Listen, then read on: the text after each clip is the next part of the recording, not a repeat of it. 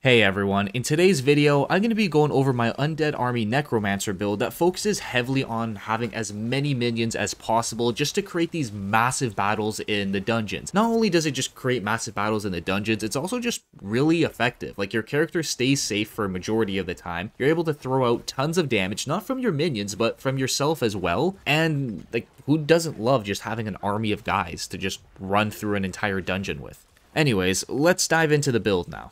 So starting off with the stats, I went with Decompose as my first skill. It's going to be the best option out of the four here. This one's mainly just used to generate essence for herself. We're not really depending on this for damage really, but when we do go up it a little bit, we grab Enhanced Decompose, which honestly isn't important. It's whenever you kill an enemy with Decompose, you gain 10 more essence instead. We're never really going to be killing people with Decompose, so we don't need that at all, but what I really wanted to grab was Acolyte Decompose. You and your minions deal 10% increased damage to enemies who are being decomposed. So while I'm regenerating essence for my other skills, my minions are going to be doing increased damage to that target. It's kind of like a nice little, instead of me just not throwing out any damage at all while I'm regenerating my essence, I can increase the damage of my minions, so there's always some sort of damage output going on, or people doing increased damage. Then going down to the tree, I grabbed Blight. This one's probably one of the most important skills in the mix here. Unleash a concentrated blight that deals 933 damage and leaves behind a defiled area dealing 2488 damage over 6 seconds. These numbers are going to be different for everybody depending on your level, your gear, stats, and all that kind of stuff. But the damage isn't the most important part about it. When we go further down it, blight slows enemies by 25%, which is really helpful because I have a bunch of things that allow my minions and myself to do increased damage to enemies that are slow slowed or stunned. So slowing and stunning enemies is going to be a helpful part of this build, but it's not heavily focused on crowd control. It's just a nice feature to it. Then the next one is Supernatural Blight. You and your minions deal 15% increased damage to enemies within Blight. So this is the one skill you're kind of want to just toss out left and right during those big fights. So not only is it going to be doing lots of damage, but your minions are going to be doing extra damage as well. And it just stays on the ground for 6 seconds dealing damage over time. So once you throw it out, you don't have to worry about it or anything. Then the next one is Sever. This one's going to be one of our biggest, actually it's going to be our biggest damaging skill for ourselves, not for our minions minions, but just for us. So what Sever does is a Spectre of You charges forward and attacks with a Scythe for, obviously me, it's 2,300 damage. For other people, it's going to be different, but you know, you get that. Then returns to you and attacks again for 746 damage. The best way to use this is obviously throwing it right in front of you so you can hit the enemy twice, but ideally with this build, you want to attack enemies from a distance. You never want to be up close to them because our character is not the tankiest, but we do have a couple of things that make up for that to increase our survivability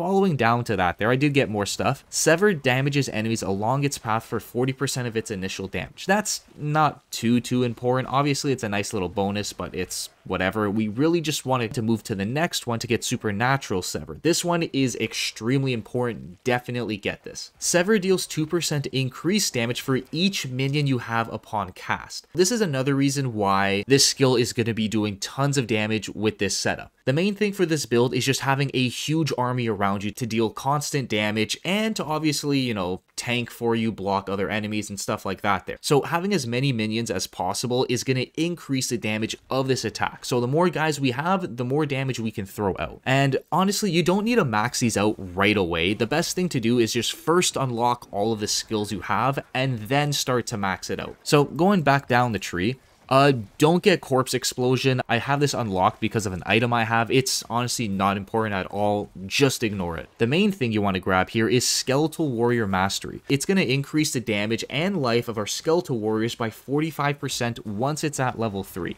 definitely a really big passive that you'll want to grab. Anything that increases the damage or life or anything to do with minions and skeletal warriors and all of our summonings pretty much, you always want to grab that. So this one is very big. Don't miss out on that. Then continuing down the tree, same thing again here. We don't really get Iron Maiden or Decrepify. I'm not sure if I pronounced that right, but Either way, we don't really get these. They don't benefit this build too heavily in terms of damage and utility and helping our minions out. They're just not really as important as other skills. But we do get a good passive down here, Skeletal Mage Mastery, that increases the damage and life of our skeletal mages by 60%. Same thing as the other one up here, Skeletal Warrior Mastery, just a little bit more damage and life. Then going down the tree, we get three of the Necrotic Carapace. I don't know if I pronounced that right or not, but you know what? It is what it is. When a corpse is formed from your skills or your minions, Fortify for 6% of your base life. Fortify is going to be a pretty big thing for survivability, just reducing the amount of damage we take by 10%. Because again, our character isn't that tanky in this build, so every little bit of protection will help out. But on the other hand here, on the other, well, other hand, more other side, the passives here are going to be pretty handy. So the first one, Reaper's Pursuit, damaging enemies with darkness skills increases movement speed by 5% for 3 seconds. Honestly, movement speed is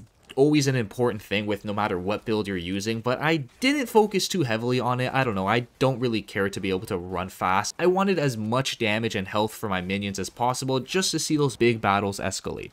Anyways, then the next one up here, Gloom. When you damage enemies with darkness skills, they take 6% increased shadow damage from you and your minions for 2 seconds, stacking up to 3 times. This is why it was really important to get Decompose, Blight, and Sever because all of those deal darkness damage, so we're going to be able to stack that passive up extremely quickly. Basically, we'll get that up to 18% in like a heartbeat. No problem at all. Then on the bottom here, I grabbed Crippling Darkness. Darkness skills have up to a 15 15% chance to stun for 2 seconds. I only grabbed it up to rank 2. Obviously, grabbing 3 seconds would probably be the most ideal, but I kind of ran out of points at the end, and I didn't find this too, too important, but definitely handy. If you want, you could put 3 into this here and take 1 out from there, but I don't know. I found 2 seconds was a pretty good amount of time. And then the last one here, Terror, is another really big one. Darkness skills deal 9% bonus damage to enemies who are slowed and 9% bonus damage to enemies who are stunned or immobilized. And these bonuses stack and apply to shadow damage dealt by your minions. Basically, whenever I slow an enemy and stun an enemy, I'm going to be able to get an 18% increased damage buff from this one passive. Again, another solid thing, and that's what this build is heavily focused on, is just getting passives that increase not only my own damage, but mainly my minions' damage. If I can get a 2 for 1, that's also a huge bonus.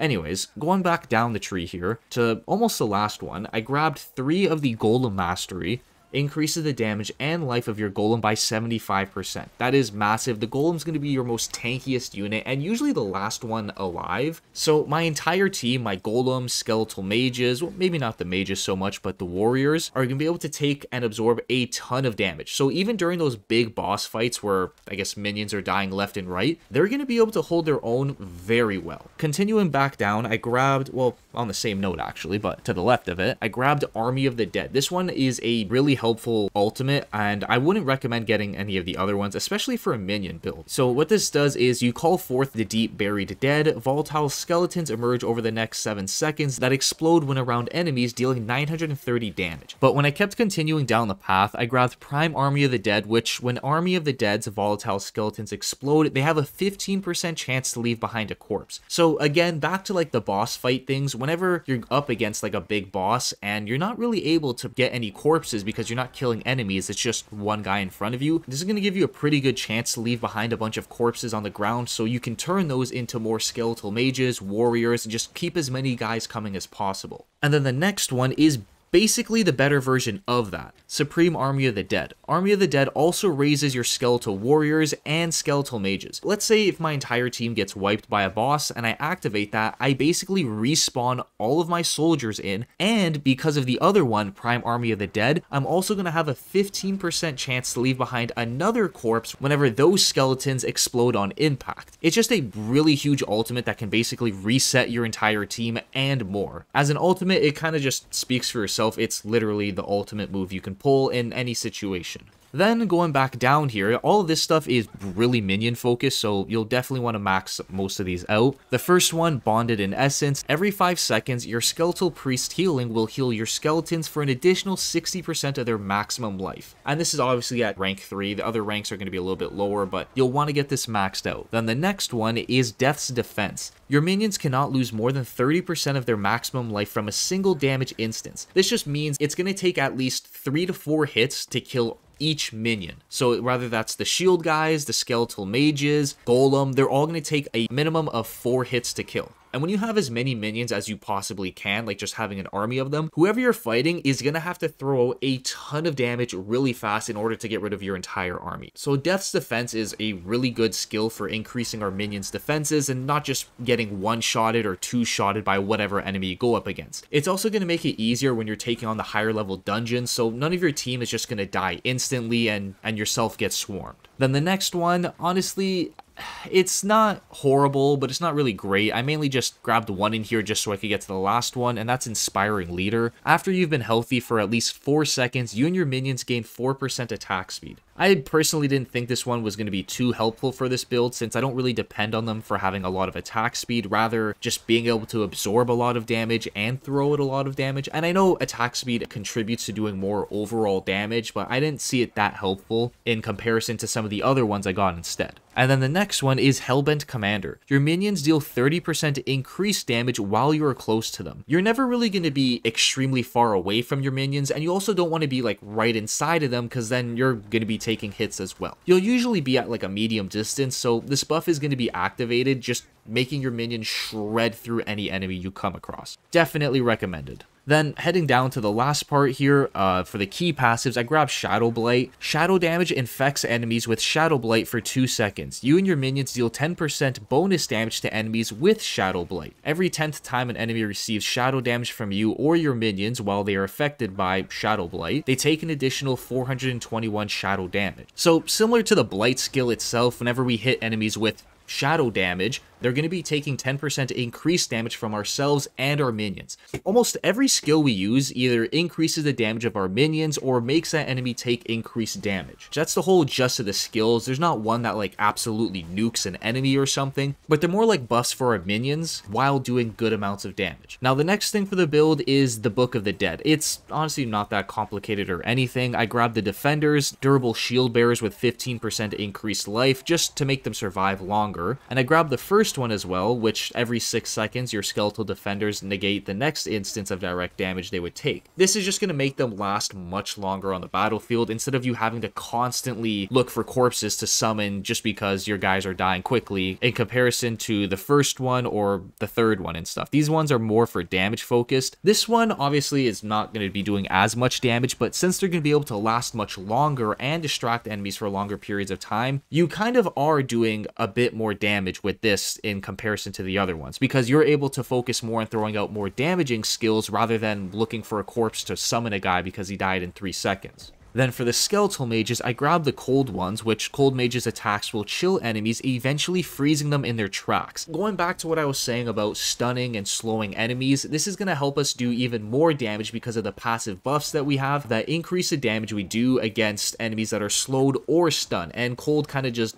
does both of those. I also grab the first one. Each time your cold mages damages an enemy with their primary attack, I gain 2 essence. So on top of them doing damage, stunning, slowing enemies, I'm also getting essence back for myself so I can throw out more damaging skills like Blight or Sever more often before I have to switch to Decompose to like regain my essence back. Then for the Golem, I went with the Bone Golem because he has this taunt ability that comes really clutch in those big fights. Basically, you just activate the skill, he charges in wherever you're locked onto or aiming at and just taunts everyone in that area. It helps you like escape tight situations and also it just groups enemies together. So when you're throwing out Blight, it's a lot easier to get large groups of enemies affected by it without having to shoot out 50 of them just wasting tons of essence. Also, the first little note for it, I grabbed that one because each time your Bone Golem takes up to 20 20% of its maximum life as damage, and then it sheds a corpse. So this goes back to when you're fighting a boss and you don't have any corpses to summon. As long as you have your golem out on the field and he's just kind of tanking all the damage for you, you're gonna gain corpses to summon. And this also goes hand in hand with some of our other passives and abilities that give us a chance to spawn in more corpses. So you're always gonna have guys with you in any fight you go up against. Now let's take a look at the gear.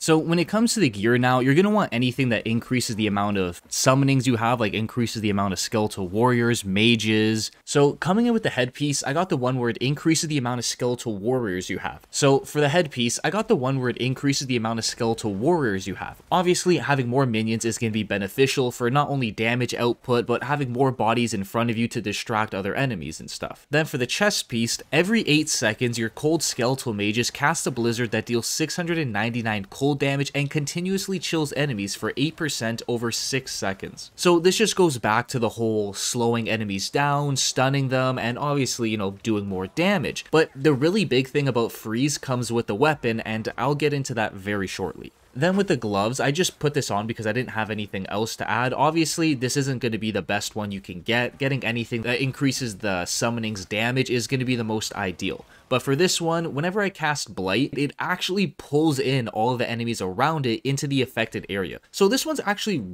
pretty good. I wouldn't discourage this one too much because enemies that are in the Blight skill are going to be taking increased damage and taking damage from the skill itself. So if you don't have anything else like uh, the one where you get more skeletal warriors or your minions are going to do more damage, this is a very good backup pick. Then with the legs, this one's a more of a defensive one. I have about two of them just to ensure my character's survivability. So damaging an elite grants you a barrier absorbing up to 1050 damage for 10 seconds, and this effect can only happen once every 30 seconds. Honestly, that there is perfect. It's just going to make us more tanky during those big fights, so when elites do run up to you, you're not just going to get instantly destroyed by them or even destroyed by them at a range. Like having some extra protection is going to be really helpful. Then with the boots, I kind of got screwed on this one since I already have the one where it increases the amount of skeletal warriors. This one doesn't do anything. So literally having anything here would be a lot more beneficial. Now, what I was saying about the weapon, this one is extremely important. Luckily, these passives come with this weapon, so anytime you pick it up, you'll get these no matter what. So first off, your darkness skills chill enemies for up to 40%, and all of my skills are darkness, so anytime we attack an enemy, we're just going to be slowing them and putting the chill effect onto them. The lucky hit of it, my darkness skills have up to a 100% chance to generate 10 additional essence against frozen targets. After we freeze a target from all of our darkness skills, the skeletal mages. Whenever we cast out, like, let's say Sever or Blight, we're gonna get 10 essence back from that, just making it easier to spam skills more often. That's about the main thing with the weapon, making all of my skills basically freeze enemies as well, and regenerating essence against those frozen targets, just so I can spam them more often before I have to use Decompose to regenerate my mana. Then with the amulet, this one's vital. I would say this one is fully needed for this build. When hit while not healthy, a magical bubble is summoned around you for 5.3 seconds. While standing in the bubble, players are immune. It can only happen once every 90 seconds. If you're about to die, a bubble comes around you and just grants you immunity from all damage for 5.3 seconds. It, it just stops you from getting one-shotted by like some of the stronger guys in the game when you're taking on dungeons that are a much higher level than what you are yourself. So this here and the other one on the legs that gives me a shield whenever I uh, damage an elite are are essential for this build in when it comes to survivability. And again, those are the only two things I really have when it comes to protection. And for the rings, one of them I have uh, each time one of your summoning minions damage an enemy, they gain 10% attack speed for 3 seconds up to 30%. This is another reason why I went with the tankier minions, just because they're going to be able to survive for longer periods of time because they are more tanky, and they're going to be able to get the full benefit of this effect, stacking it up to 30% very easily because, again, they're going to be surviving for longer periods of time. And for the last amulet, this is another one that honestly isn't needed at all and you could put whatever you want. Well, this is even less needed than the one I have on my gloves. Attacking enemies with a basic skill increases the damage of your next core skill by 7% up to 30%. And honestly, we're not using Decompose that often, so we're never really going to get a lot of damage out of our skills with this. So feel free to just throw this out of the way. Now I'll show you guys the best way to use this build. So the first thing you're going to want to have is all of your minions always up and ready. You're going to want to use uh, Raise Skeleton as much as possible. Well, not too often because once you have all of your guys summoned, you'll then summon a Skeletal Priest to empower your minions for 5 seconds, increasing their damage by 30% and healing them for 15% of their maximum health. You don't have to spam this too often. Every, again, every 5 seconds or every now and then when you see your minions are low on health, cast this up, increase all of their health, increase all their damage. Very straightforward and basic. Then for Golem, this is the one I was talking about. When you activate it, he charges forward to the position you're aiming at and taunts all the enemies there to basically attack him. This is the first skill you're going to want to use in the combo I have set up. So when you throw him out and all the enemies are taunted by him, just kind of attacking him, they're all going to be piled up. And that's when you're going to want to toss out Blight. Since they're in that big pile, Blight is going to be able to hit all of them, if not most of them, relatively easily. And because I have that armor piece that pulls pulls enemies into the Blight, like that little pool that it leaves, comboing the Golem Taunt with the Blight pool is a perfect combination just because you gather them all up and then you toss Blight on top of them, making your minions do increased damage while they're taking damage over time. Since it's a darkness skill and deals shadow damage, they're going to be taking increased damage and they're going to be getting chilled as well because of the buff on the sword that makes all the shadow damage skills chill enemies. Then after you use Taunt, Blight, and they're all grouped together, that's when you're going to want to use Sever when they're all grouped together, being taunted by the Golem in the pool of Blight, taking increased damage, getting chilled. It sets up the entire thing for Sever. You're just going to be cutting down that large group of enemies really quickly with this skill. And then for the ultimate Army of the Dead, this one's more used for when all of your minions are dead and you're about to get swarmed by a bunch of enemies and you kind of just need to restart your army. It's honestly perfect. It does quite a bit of damage. You get all of your minions back and you get more corpses on the ground. So you can either one buff the minions that just come back to you from this skill or if they're dying off too quickly, you can just respawn them in right away. The order of it is raise skeleton, send the golem in, throw the pool of blight out, and then use sever to cut them down quickly. Decompose just to regain essence, not really important. And the ultimate army of the dead for whenever your minions are all dead or you're just in a really big fight. Well, if you guys enjoyed the video, be sure to check out some of my other build related videos. Well, I don't have any more build related videos for Diablo 4, but if this video does do good, I'll continue to make them. I have a bunch of other ones like Elden Ring if you want to check those ones out, but anyways, thanks for watching everyone.